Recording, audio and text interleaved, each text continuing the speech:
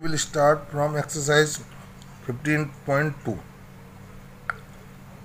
A B C D is a parallelogram जैसे कि ये डायग्राम मैंने बनाया है तो इसमें A B C D is a parallelogram parallelogram में अपोजिट साइड्स इक्वल होती हैं, जैसे ये side C D A B के इक्वल होगी बी सी ए डी के इक्वल होगा.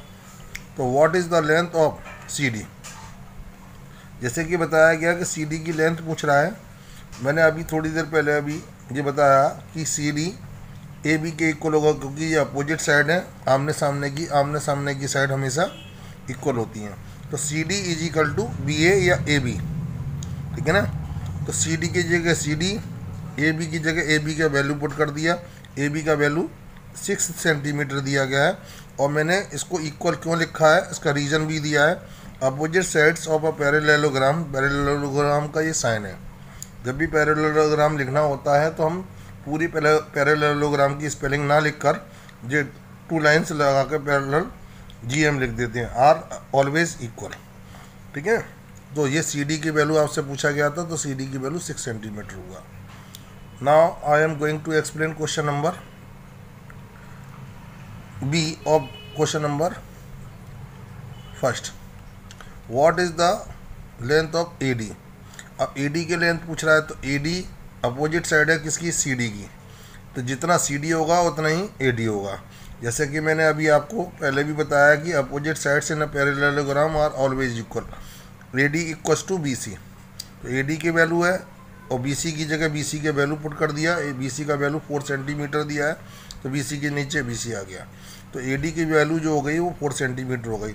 और रीज़न भी दिया है opposite sides of a parallelogram are always equal now I am going to explain question number C जैसे कि अभी इसको एक्सप्लेन करने से पहले मैं आपको यही बताता दूँ कि पैरेललोग्राम में अपोजिट एंगल और ऑलवेज इक्वल यानी एंगल ए जितना है, उतना ही एंगल सी होगा। यदि एंगल ए की वैल्यू सिक्सटी है तो सी की वैल्यू भी सिक्सटी होगी। और ये अगल बगल के जो दो एंगल होते हैं, इनको एडजस्टेंट एंगल बोलते हैं और इनका सम जो होता है वो हमेशा 180 होता है। इन दोनों का सम करेंगे तो 180 आएगा। इसका अब एडजस्टेंट एंगल का अकेला यही नहीं है, इसका एडजस्टेंट एंगल ये भी है। यदि हम इसका सम करते हैं, तब भी 180 आएगा। ये दोनों एक दूसरे के लिए एडजस्टेंट एंगल हैं और इसके लिए ये भी है एडजस्टेंट एंगल है और इसका एडजस्टेंट अकेला ये नहीं होगा, ये भी होगा। ठीक है ना? तो ये जितनी वैल्यू होगी, उतनी इसकी वैल्यू होगी। यदि हम बी की वैल्यू फाइंड आउट करना चाहते हैं तो हम A plus B is equal to one eighty लिखेंगे, क्योंकि एडजस्टेंट एंगल का सम हमेशा वन एट्टी होता है स्टूडेंट जब इसका वैल्यू आ जाएगा तो जो वैल्यू इसका होगा, वही एंगल डी का होगा, क्योंकि ये अपोजिट एंगल हो जाएँगे। तो ना I am going to explain question number C what is the measure of angle C जैसे कि मैंने अभी आपको बताया कि angle A equals to angle C तो लिखना पड़ेगा angle C is equal to angle A A की जगह ए का वैल्यू पुट कर दिया मैंने सिक्सटी एंगल सी की जगह सी का वैल्यू पुट कर दिया। तो angle opposite angle of a parallelogram are always equal reason भी मैंने दिया है कि क्यों सी को मैंने इक्वल ए के इक्वल लिखा है। एंगल ए को सी के इक्वल क्यों लिखा है? ठीक है okay now question number D A B parallel to C D जैसे कि आपको बताया गया कि parallelogram A B C D था अपोजिट साइड्स पैरेलल भी होती हैं और इक्वल भी होती हैं। तो ये पैरेललोग्राम है ए बी सी डी तो ये अपोजिट साइड्स एक दूसरे की इक्वल भी होंगी और पैरेलल भी होंगी। पैरेलल का मीन्स इनका गैप इक्वल होगा। तो आपको पास यहाँ दिया गया है कि जब जो लाइन पैरेलल होती हैं तो एडजस्टेंट एंगल का जो सम होता है, वो हमेशा 180 होता है। तो ये दोनों एंगल ए और एंगल डी जो दोनों ही, इनका सम जो है 180 होगा। ठीक है ना? तो angle A plus angle D is to one क्यों रीजन लिखा है? The sum of the adjacent angle of a parallelogram is always equal ठीक है ना? जो सम होता है वो हमेशा 180 होता है। तो एंगल ए की वैल्यू और प्लस एंगल डी की वैल्यू पूछी थी। तो उन दोनों का मेज़रमेंट 180 हुआ। Okay now I am going to explain question number second of this exercise, two adjacent angles of a parallelogram are in the ratio 1 ratio 2 find the angles. First angle हमने X suppose कर लिया क्योंकि इसका ratio one है तो one x नहीं लिखते only x लिख देंगे। सेकंड जो है एंगल जो है इसका टू एक्स हो गया क्योंकि इसका रेशियो टू है। अब जैसे कि मैंने आपको पहले भी बताया था now the sum of adjacent angles of a parallelogram is always 180 okay तो अब ये एडजेसेंट एंगल है, ये दोनों। तो इन दोनों का सम होगा, वो 180 होगा। तो x plus two X is equal to one इन दोनों को आप ऐड करेंगे थ्री एक्स आएगा। Is equal to one eighty three को डिवाइड में ले जाएँगे, इससे इसको कैंसिल करेंगे you will get sixty this is the value of X तो फ़र्स्ट एंगल एक्स की वैल्यू जो आ गई, वो सिक्सटी है। तो फ़र्स्ट एंगल आपके पास सिक्सटी हो गया। अब सेकेंड एंगल आपके पास क्या था? टू एक्स तो second angle is equal to two X X की जगह एक्स का वैल्यू पुट कर दिया सिक्सटी आया था। इन दोनों को मल्टीप्लाई करेंगे you will get 120 this is the value of second angle तो अब आपने देखा कि सेकंड एंगल 120 है और फ़र्स्ट एंगल 60 है। तो इन दोनों का सम कितना आया? 180 ठीक है ना? अब आपको केवल फ़र्स्ट एंगल की वैल्यू बताना था और सेकंड एंगल की वैल्यू बताना था। ये पूछ रहा था। ये तो मैं आपको प्रूफ दे रहा हूँ कि इन दोनों का सम 180 हो रहा है कि नहीं हो रहा है। Now I am going to explain question number three if one angle of a parallelogram is 110 यानी कि कोई एक एंगल फोर एंगल्स होंगे पैरेलेलोग्राम में, कोई एक एंगल 110 है। तो मैंने इस डायगर फिगर को बनाकर एक एंगल की वैल्यू 110 दे दिया। फाइंड द अदर एंगल्स यानी कि अब ये एक एंगल की वैल्यू वाले में हैं तो आपके पास इसके बाद तीन एंगल और बचे interior B angle C angle D. अब आपको इन सभी की वैल्यू आपको बतानी है। जैसा कि जानते हैं आप कि पैरेलेलोग्राम है तो अपोजिट एंगल इक्वल होंगे। तो यानी कि एंगल जो ए होगा, वही एंगल सी की वैल्यू होगी। We know that the opposite angle of a parallelogram are always equal तो angle C equals to angle A मैंने यहाँ लिख दिया। एंगल ए की वैल्यू पुट कर दिया तो एंगल सी की वैल्यू मालूम पड़ गया। जैसे कि आपको पहले भी मैंने बताया था कि एडजेसेंट एंगल जो होंगे, वो हमेशा 180 होते हैं पैरेलेलोग्राम में। The sum of the adjacent angle of a parallelogram are always equal equal to 180 यानी कि उनका जो सम होता है, वो हमेशा 180 के इक्वल होता है। तो angle A and angle D यानी ये भी आपके पास किसके, ये भी एडजेसेंट एंगल है, ये दोनों। तो इन दोनों का सम मैंने यहाँ लिखा है तो angle A plus angle D ये भी एडजेसेंट एंगल है, ये भी ये भी ले सकते थे, हम चाहते तो। तो मैंने एंगल बी ना लेकर एंगल डी लिया है। तो angle A plus angle D is equal to one eighty तो एंगल ए की वैल्यू पुट कर दिया, इसको ट्रांसफ़र करके लाएँगे, इधर आ जाएगा माइनस का ओके तो एंगल डी का वैल्यू से सेवेंटी आ गया। अब जैसे कि आपको पहले वाले क्वेश्चन में भी बताया था कि ये इसके इक्वल होगा तो एंगल डी एंगल बी के इक्वल होगा। क्योंकि अपोजिट एंगल हैं आमने सामने के। तो अब क्वेश्चन नंबर थर्ड में, अब बी की वैल्यू फाइंड आउट करने के लिए the opposite angle of a parallelogram are equal angle B equals to angle D और जैसे कि हम इस क्वेश्चन में एंगल डी की वैल्यू निकाल रहे हैं फाइंड कर लिया हमने तो एंगल डी की वैल्यू पुट कर देंगे तो this is the value of angle B की वैल्यू सेवेंटी हो गई। तो आपके पास एक एंगल की वैल्यू मालूम थी आपको, और बी की भी आपको यहाँ मालूम पड़ गया। अब आपको एंगल डी की भी वैल्यू मालूम पड़ गया और एंगल सी का भी वैल्यू मालूम पड़ गया। Okay this is the answer of this question okay students if the sum of the pair of a opposite angle of a parallelogram is 200 यानी कि ये दो अपोजिट एंगल हैं, ठीक है ना? और इन दोनों का यदि सम करा जाए तो टू हंड्रेड एट 200 बता रहा है कि वो 200 इन दोनों का सम आएगा, या इन दोनों का ले लिया जाए। तो जैसे कि आपको पहले भी कई बार बता दिया गया है कि opposite angle are always equal angle A is equal to angle C and angle B is equal to angle D जैसे कि मैंने इसमें भी यहाँ लिखा है आपको students angle A equal to angle C तो मैंने लिखा कि angle A equal to angle C के दोनों बराबर होंगे। एंगल बी एंगल डी के इक्वल लिखा है मैंने okay according to the question angle A plus angle C वो दे रखा है मैंने कह रहा हूँ कि अपोजिट एंगल का सम जो उसने 200 बताया है।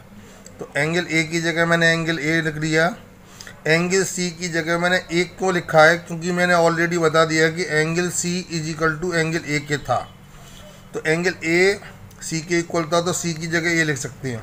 अब इन दोनों को ऐड करेंगे तो ट्वाइस एंगल ए आ जाएगा, टू को डिवाइड में ले जाएँगे हंड्रेड। तो this is the value of angle A जो एंगल ए की वैल्यू आएगी, वही एंगल सी की आएगी, क्योंकि ये angle C is equal to angle A है। तो ए की जगह मैंने ए का वैल्यू पुट कर दिया, ये था, निकाला था मैंने आपको तो एंगल सी के वैल्यू आ गया। Now the sum of the adjacent angle of a parallelogram are always equal to 180 ठीक है ना? इन दोनों का सम जो होगा, वो हमेशा 180 होगा अपोजिट एंगल का। वो एडजेसेंट एंगल का। एडजेसेंट एंगल का सम जो है 180 हो गया।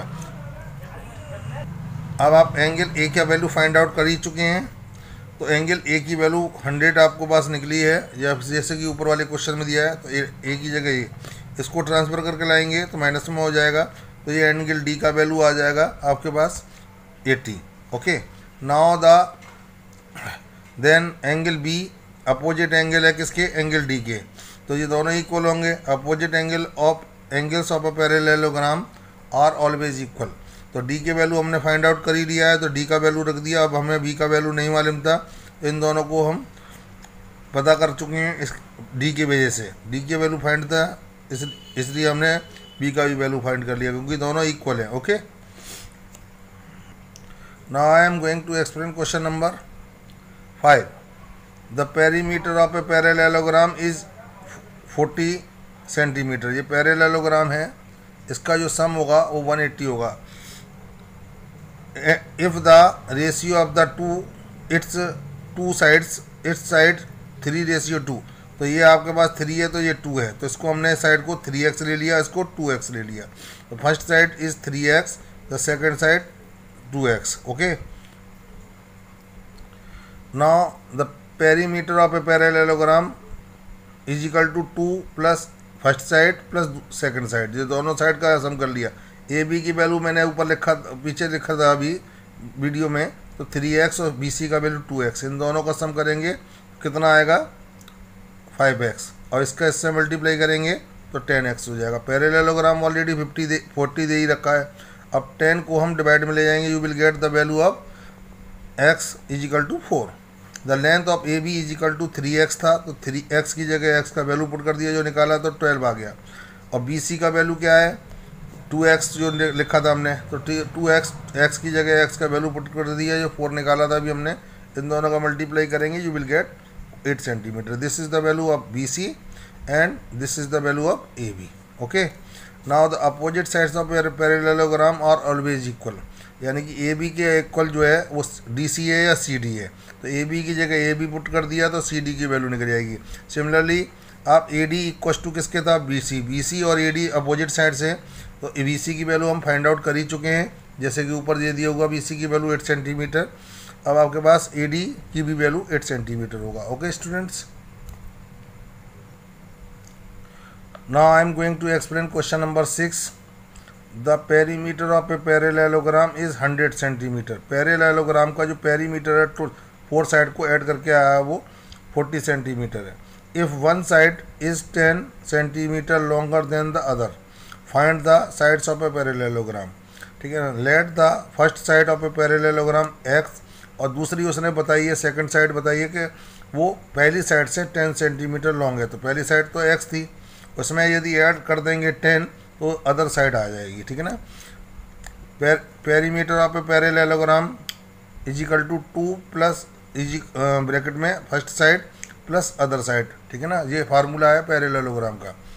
अब आपके पास टू का टू पेरीमीटर हंड्रेड दे ही रखा था इसमें क्वेश्चन में। तो मैंने यहाँ पेरीमीटर की जगह पेरीमीटर लिख दिया। फ़र्स्ट साइड मैंने एक्स लिया था और सेकंड साइड मैंने एक्स प्लस टेन लिया था। इन दोनों को ऐड करेंगे टू एक्स प्लस टेन अब इसका इसमें मल्टीप्लाई करेंगे। या फिर इस टू को नीचे भी ले जा सकते हैं, ठीक है ना? दोनों में से कुछ भी कर सकते हैं। टू को हम इससे दोनों से मल्टीप्लाई भी कर सकते हैं, या तो टू को नीचे भी ले जा सकते हैं, ठीक है? तो मैं टू को उस वाले को नीचे ले आया हूँ तो इससे इसको डिवाइड करेंगे यू विल गेट फिफ्टी अब टू एक्स प्लस टेन अब इसको ट्रांसफ़र करके इधर लाएँगे तो प्लस का इधर आकर ये माइनस का हो जाएगा you will get forty the difference of fifty and ten and two का आप ये टू को डिवाइड में ले जाएँगे तो क्या आ जाएगा? ट्वेंटी। ये ट्वेंटी टाइम्स डिवाइड होगा तो एक्स का जो वैल्यू आएगा वो ट्वेंटी होगा। First side of a parallelogram x यानी ट्वेंटी सेंटीमीटर अदर साइड जो है एक्स प्लस टेन था तो एक्स की जगह एक्स का वैल्यू पुट कर दिया तो वो ट्वेंटी और twenty plus ten you will get thirty thirty centimetre other side आ गई। यदि ये पहली साइड ट्वेंटी आई है तो उसके सामने वाली भी ट्वेंटी होगी। सेकंड साइड थर्टी आया तो उसके सामने वाली भी साइड थर्टी होगी। यानी टू साइड्स की वैल्यू जो है ट्वेंटी ट्वेंटी होगा और टू बची हुई दो साइड से उनकी वैल्यू थर्टी थर्टी होगी okay hello student now I am going to explain question number seven in the adjacent figure P Q R S ये दे रखा है figure is a parallelogram find each angle of a parallelogram marked with a letter यानी कि आपके पास P Q R S एक parallelogram है। अपोजिट साइड से इक्वल भी होती है पैरेलेलोग्राम में एंड पैरेलल भी होती हैं। तो ये आपके पास पी एक डायगोनल ड्रॉ करा है इसमें। इस एंगल की जो वैल्यू है, वो कितना है? थर्टी और इसके वैल्यू है टी टी का वैल्यू और ये एक्स है, ये एंगल बाई है और ये एंगल सॉरी ये जेड है और ये बाई है। अब जैसे कि आपको मालूम है कि in triangle P S R यानी सबसे पहले मैंने इस ट्रेंगल को लिया है। तो पी एस आर इस ट्रेंगल को लूँगा तो ट्रेंगल के जो इंटीरियर एंगल्स हैं, इन समों का सम जो होगा, वो होगा आपके पास 180 हमेशा इंटीरियर एंगल का सम जो है ट्रायंगल में 180 होता है, ठीक है ना? तो एंगल पी एस आर वो sorry R P S R P S तो ये आर पी एस एंगल हो गया। अब इसको हमें पी एस आर ये वाला एंगल की वैल्यू लिख दिया। अब ये आपके पास थर्ड वाला है एस आर पी तो एस आर पी लिख दिया। इन तीनों का वन एट्टी लिख दिया। तो आर पी एस की वैल्यू आर पी एस की वैल्यू वाई दे रखा है। तो वाई पुट कर दिया।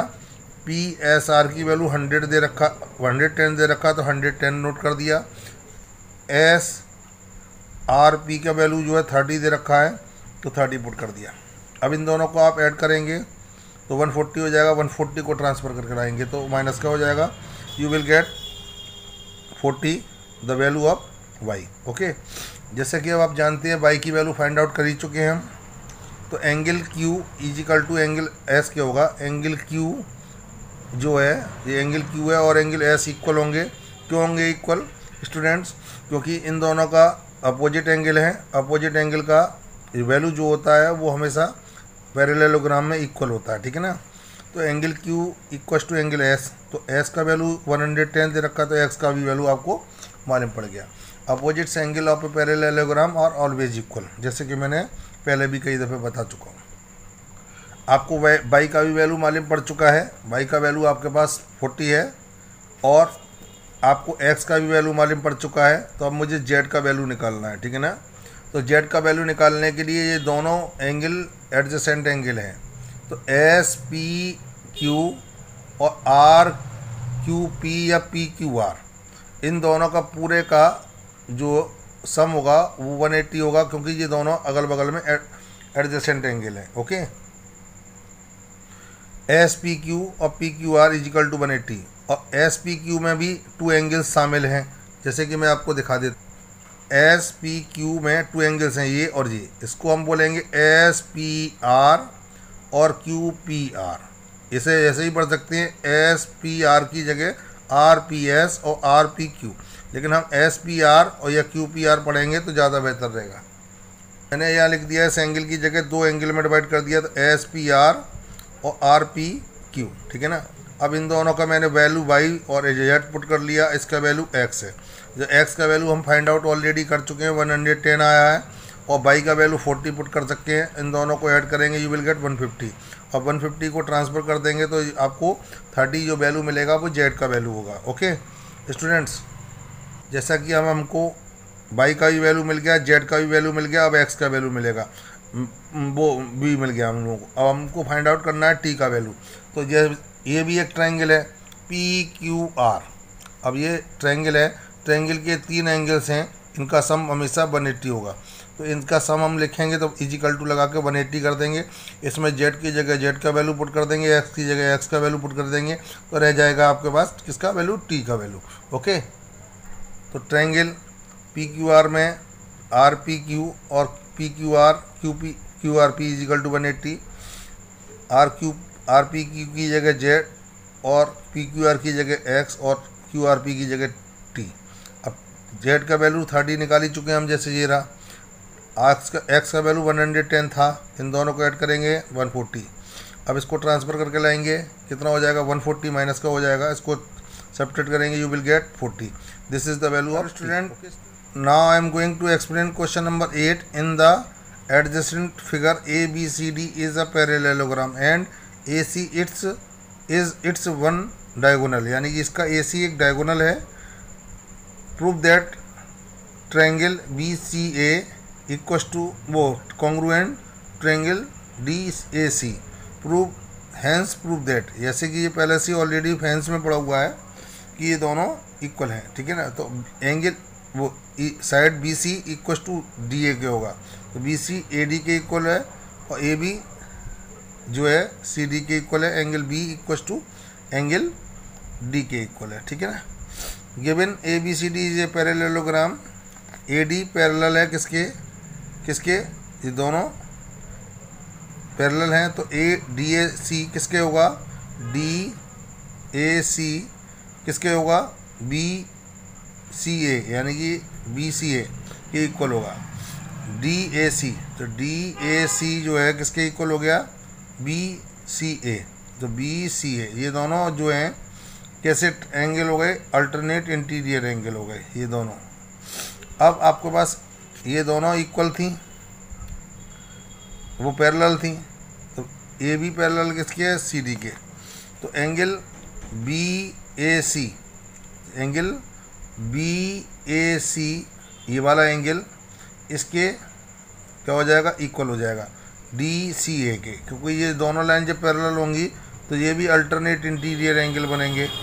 ठीक है ना? अब आपको आप प्रूव करना है कि B C equals to D A के A B equals to C D के और आपके पास angle B equals to D के तो proof A B C and triangle A D C angle B C A is equal to angle D C A angle B A C and angle A C और ये दोनों ए सी ए सी already बराबर होंगे common side हो गई ये। तो ये दोनों, जब दो एंगल और एक साइड इक्वल होती है तो ये दोनों ट्रायंगल कॉन्ग्रुएंट हो जाएँगे, ठीक है ना? By C P C T अब जब सी पी सी टी हो गया, यानी congruent part of congruent triangle अब ये दो ट्रायंगल बचे तो ये साइड इसकी इक्वल लिख देंगे, ये साइड इसको इक्वल लिख देंगे, और एंगल बी एंगल डी के इक्वल लिख देंगे। तो ये मैंने वही रखा है यहाँ। तो बच्चे को पार्ट्स वो इक्वल हैं। तो बी सी ए डी के डी ए के इक्वल लिख दिया ए बी सी डी के equal angle B D B angle D के इक्वल लिख दिया। I am going to explain question number nine in the adjacent figure A B C D is a parallelogram and जो दे रखा है E and F are the mid points of side A B and C D respectively जो E है, वो A B का mid point है F जो है सी डी का मिड पॉइंट है. So that quadrilateral A E C F A E C F अब जो A E C F is a parallelogram तो ये बना हुआ, ये फिगर है, ये अंदर की तरफ़ ये भी पैरेललोग्राम होगी कि नहीं होगी, ये प्रूव करवा रहा है. ओके स्टूडेंट ये टेंथ स्टैंडर्ड का क्वेश्चन है स्टूडेंट्स आपको नाइन्थ में भी आता है ये question given A B C D is a parallelogram F is the mid point of C D या डी सी एफ़ जो है, किसका मिड पॉइंट है? सी डी का. तो एफ़ इज़ एफ़ सी जो होगा, इतना सेक्शन पूरे का हाफ़ होगा. मिड पॉइंट है ना? तो इसलिए एफ़ सी जो है हाफ़ होगा पूरे सी डी का. तो सी डी को भी मैंने, या डी सी को भी मैंने हाफ़ कर दिया one by two similarly E is the mid point of A B E जो है, इसका मिड पॉइंट है ए बी का। डायग्राम में। तो ये ए ई सेक्शन जो है, इतना सेक्शन जो है, वो ए बी का हाफ़ होगा। तो जब ये हाफ़ है तो ये भी पूरा हाफ़ करना पड़ेगा। आपको A E is equal to A B का हाफ़ कर दिया।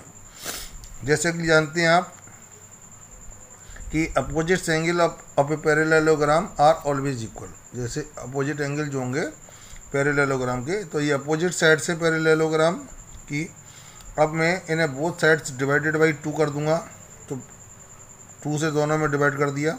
तो जब ए बी बाई टू और सी डी बाई टू लिखा हुआ है तो ए बी बाई टू किसके इक्वल है? ए ई के और सी डी बाई टू जो है किसके? एफ़ सी के।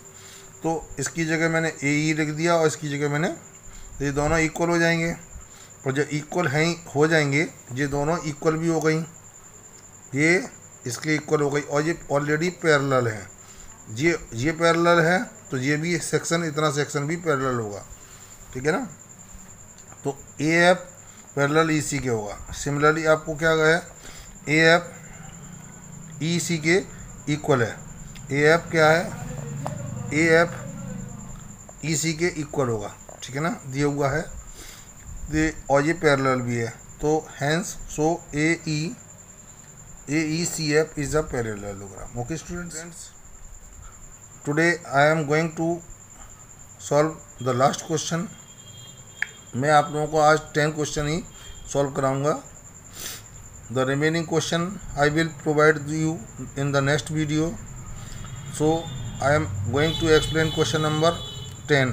In a parallelogram ABCD, angle A का वैल्यू एंगल सी का value three x plus fifteen angle D का वैल्यू जो दे रखा है टू एक्स प्लस टेन है पैरेललोग्राम में find the value of x okay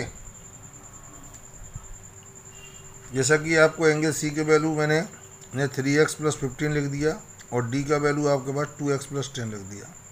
ठीक है ना? आपको क्या करना है कि ये दोनों एडजस्टेंट एंगल हैं तो एडजस्टेंट एंगल में सम जो होगा वन एट्टी होगा। तो आपको क्या करना है कि इन दोनों को angle C plus angle D is equal to one eighty C की जगह सी का वैल्यू पुट कर दिया मैंने ये। थ्री एक्स प्लस फिफ्टीन और डी की जगह डी का वैल्यू पुट कर दिया। इन दोनों को ऐड करेंगे, वन एट्टी आ जाएगा। इन दोनों का फाइव एक्स हो गया, इन दोनों का ट्वेंटी फाइव ट्वेंटी फाइव को ट्रांसफ़र करके लाएँगे you will get one eighty में से माइनस करेंगे you will get one hundred fifty five और फाइव से इससे डिवाइड लगाएँगे you will get thirty one this is the value of x similarly आपको क्या करना है? Angle A equals to angle वो इन दोनों का सम करेंगे, ये एडजस्टेंट एंगल है, इन दोनों का सम करेंगे तो आपके पास मिलेगी आपको वैल्यू वन एट्टी ठीक है स्टूडेंट्स तो angle A plus angle B is equal to one angle A की value five x by angle B की value three by plus twenty इन दोनों को ऐड करेंगे एट बाई और प्लस ट्वेंटी ट्वेंटी को ट्रांसफ़र करेंगे तो आपके पास आएगा वन सिक्सटी अब एट को डिवाइड में ले जाएँगे तो ये एट से one sixty twenty times divide हो जाएगा you will get the value of by twenty okay students it is enough for today I will provide the next questions in the next video very soon students